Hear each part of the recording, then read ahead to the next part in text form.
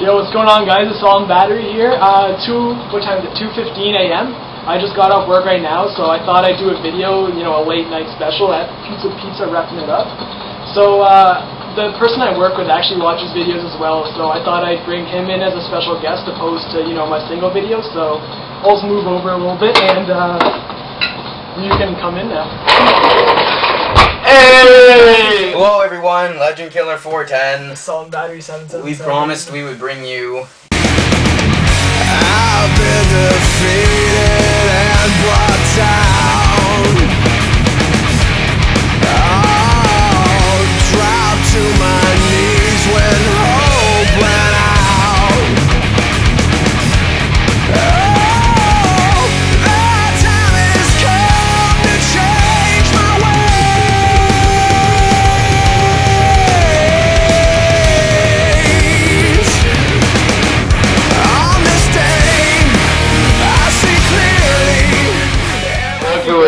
Legend Killer 410. This is by far a shop. I know you guys didn't see this one coming, the orange. but yeah, rep the uh, Pizza Pizza colors. Pizza Pizza colors. Yeah. We were working for the last.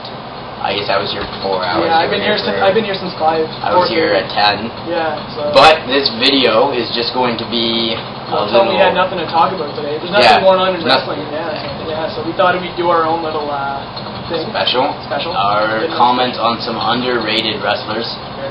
So, So we start off with. Uh, go ahead. Kofi, Kofi Kingston. Kingston. Uh, me personally, I think he'll he'll be you know because he's already in the elimination chamber. Like they were hyping him being in there, but of, of course Edge you know jumped him and all that. So if his character doesn't work out, I think he'll just end up as a jobber and maybe even released. Who knows?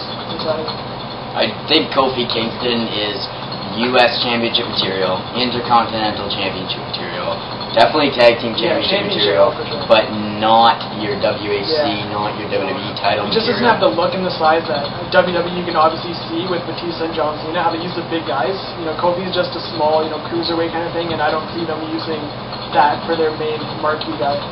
But somebody that could jump along the WWE title, World Heavyweight Championship title, road one day would be John Morrison. John Morrison. I. This guy has grown on me. Yeah. I huge. got it. I'm on it. I, I was a big fan of John Morrison when he won the ECW title. When he switched from Nitro to Morrison, I just grew on him since then. And I, I wasn't that big of a fan back then, but now the past I'd say five six months, Yeah. he's grown on me a lot. I see a lot of potential in him. His in ring skills are unbelievable. yeah, just the moves he pulls off, like the corkscrew moonsault, you don't see anybody doing that. It just makes you go like, oh my Some god. Some of his moves are kind of patented almost. yeah, Nobody else in WWE like the breakdancing stuff. Yeah. Yeah, he's just an unbelievable in-ring performer. I haven't really seen him cut any in-ring promos, No. but you know he has mic know, yeah, yeah, he can crack a joke here. So I think he's going to be a big deal in in years the to come. yeah. Next is uh, my boy. personal my personal favorite, uh, Shelton Benjamin. Uh, I think WWE did flop with him a bit when he first came to Raw. He beat Triple H two times in a row, and third time Triple H squashed him, and he has been the same ever since. Uh, if I think Shelton Benjamin, if he is used right, he could be a potential That's world title. Yeah, Using Shelton Benjamin right. he's got amazing wrestling skills, and it's not easy. Even his mic skills aren't that bad. Yeah, because that's why he cuts a promo at the beginning of uh, at the beginning of his matches. He always cuts that one promo just to get him. We got our MCs because we're too cool to drink beer. yeah. Okay, Shelton Benjamin. In-ring performer, incredible. His mic Mic skills skills are aren't good, good, yeah. but if WWE uses him the way we want him to be used, could be amazing. he is that John Morrison potential. Now, one of my personal favorites now, Kennels. My boy, Mr. Kennedy. I see what a lot of people don't see in this guy. Don't know why. I always have. Not just because I met him and he stu- stood up He for stood me. up for him. But that's not the reason why. I have seen potential ever since he feuded with Undertaker. Yeah, he, he has victories over. You know, he he's in, he said it in all his promos too. He's got victories over Mysterio, Undertaker, uh, Batista. Who else? Major guys He's got victories over. Well, anyways, doesn't matter. The, you know, the he's, point he's is, beaten one of the biggest guys, and I think if he would have uh, been the child of Mr. McMahon's in the uh, would have helped it would have helped career. Because I know he was supposed to be the original guy. I, I, I can tell you his injury problems have threatened Oh, yeah. have threatened his career. He's a fragile. guys. He is very fragile, and that is the scary thing Right. regarding him. One of your You like this guy? Yeah, I, I liked him better when he was a heel. With you know he was run, ru- uh, ruining every single cruiserweight in the WWE, which is Gregory Helms. When now he's Hurricane Helms, but I think the Hurricane thing really holds him back from being you know a really good main eventer because he's just being friendly to the kids, the whole superhero gimmick, and I think he really has to become serious and a heel to become successful in the WWE. Going away for a year, Yeah. he was partial injury, par- partial hiatus. I think. I think he jumped in a bar, didn't he? He got jumped, I know that, and then he was. I think he took a little bit more time on than he needed to. But the point is, his that kind of hurt him because people realize like, you know, who cares if he's gone? him? Yeah. You know, if he's gone, he's gone. It's not like he is a big deal. It's not like when Randy Orton and Triple H are gone, and John Cena are gone. People are begging Yeah, for oh, him to come back. But now, Matt Hardy, I will say it flat out. Matt Hardy is a better in-ring performer and better wrestler, better basic wrestling skills than Jeff Hardy. No, I think Jeff Hardy most he mostly relies on his like high flying things, his daredevil stuff to get him over with the crowd. But when it comes to you know headlocks and you know basic moves like that, Jeff Hardy can't pull it What off. people say John Cena is the is a mo- a man with five moves. Yeah. People say Triple H is a man with five moves. People say that There, we can- this goes on and on. who's, who's so many with, guys. with five Batista. moves. Orton, the headlock Oh Orton. yeah, headlock Orton. But what people don't realize is Jeff Hardy, all he does yeah, is do leg kick, drops yeah. The mule and kick, the swanton, and to whisper in the wind. Whisper, yeah, there's four right there. The rest of it is All him oh, getting whipped around. Yeah, exactly. So Matt Hardy, in my opinion, can be really, really big time. Right. Maybe not at the main event level, but definitely A contender for it. if he, you know, definitely can contend for it.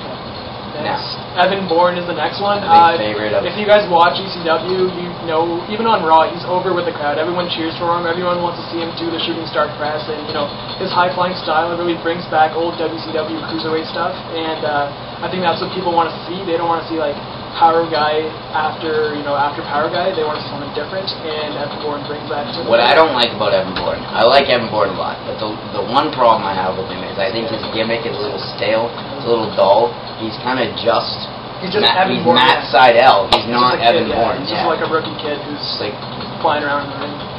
Entertains people. But again, if WWE uses this guy correctly, Oh, he's going he's to the- championship material. Oh, right. Easy, easy WWE title material in my opinion. Now this guy is going to be big. You can guarantee it. I know he's gonna. Yeah, he's gonna be big. I You talk about Jack Swagger while oh, No, I you- you no while I check the time. Oh yeah. Well, Jack Swagger has that, you know, that pretty boy look. If you can, is that a good word for it? He has that look that he's big and he's tall. He's got the, the hair and everything. He's got the smile that can put him as a champion. I can see WWE using him as their the next John Cena Yeah. almost. He's got that John. He's got this this look and this appearance, I guess, That, that can put him to this John Yeah. Cena like popularity. he's got the the, The poster boy yeah, look to That's it. what I meant, the poster and he's got skills. How much time? Two and a half minutes. So, Jack Swagger, The next John Cena. big. He's gonna be huge, Yeah. guaranteed. MVP can be big, but I have a feeling WWE will not use No. him in the ways he should be Yeah. used. They're well, they're starting off with him okay, having him uh, feud with Orton, like having him interrupt, so that he's put he's getting put on the map Already. fast. Yeah, right. First night on Raw, and he's he's already getting in Randy Orton's face. Right, yeah. I mean, he's not going to actually No, compete yeah, for the title quite yet, but at least for him to be US champion put on the map in front of the crowd a big. Especially after we're winning the title too, so I can't believe how far this guy's been pushed already. we're gonna run. Now, Rhodes and DiBiase, you can you can have Rhodes and DiBiase, my boys, let me just take over. I don't care what people say about them. I mean, okay, I'll, I'll say this: DiBiase is better than Rhodes. You tell me about the time, all right? DiBiase is better than Rhodes, but You got one and a half minutes. these guys are by far two guys in the WWE that have come in in a very, very long time and have Instantly be put on the map. instantly be put on the map, kind of like Randy Orton and Batista, Being less than 30 years old. So. being less than 30 years old. These, I, I, there's not enough good things to say about these guys. I mean, I, I can guarantee you, I am 100% betting all my possessions that these guys will be a big deal. I mean, Cody Rhodes WWE champion in 10 years is not far fetched. Ted, Ted DiBiase world champion in 10 years I see. is, Uh, yeah, is not far-fetched. DiBiase is better than Rhodes, but they both have very similar gimmicks, obviously, right. now. But in years to come, they're definitely going to go separate ways. Right. And I can see them being Years to come, I heard big they're gonna break up soon. DiBiase's going face soon. I don't think at the so. I assume it might be a couple, a couple, at least a couple months. Okay, now a couple guys who have potential that will go nowhere. We got to do this quickly. Brian Kendrick going nowhere. Chavo Guerrero misused, going nowhere. Hawkins and Ryder, uh, they were doing good with Edge, but they just broke up, and that was it after that. Now are they on different shows now? Yeah. Going nowhere. The Miz, good promo potential, but But I'm, I'm afraid his his in ring potential is That's too. Done. Ricky Ortiz. Ricky Ortiz, forget it, going nowhere. That's it for now. He's what are you? Your I'm- username I'm- is, Assault and Battery 77. and I'm Legend.